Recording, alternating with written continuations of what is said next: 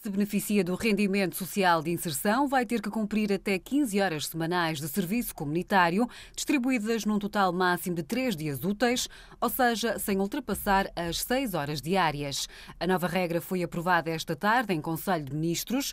Ficam excluídos desta tarefa indivíduos menores e com incapacidade ativa de trabalho. Posso-vos dar alguns exemplos destas mesmas atividades a limpeza de espaços exteriores, como jardins, a colaboração na conservação e reparação em pequenas obras nas instituições sociais, a ajuda à realização de eventos culturais, desportivos, recreativos, o apoio às redes de bibliotecas, arquivos ou museus municipais. Destinamos esta medida para beneficiários de RSI que tenham idade e capacidade para o trabalho, para beneficiários que por isso mesmo não tenham crianças ou idosos a seu cargo, para beneficiários que não sejam vítimas de violência doméstica acolhidos em casas de abrigo ou para beneficiários que não estejam inseridos em programas de procura ativa de trabalho ou subsídio de desemprego. Em caso algum, esta medida é confundida com uma forma de ocupação ou promotora da substituição de postos de trabalho.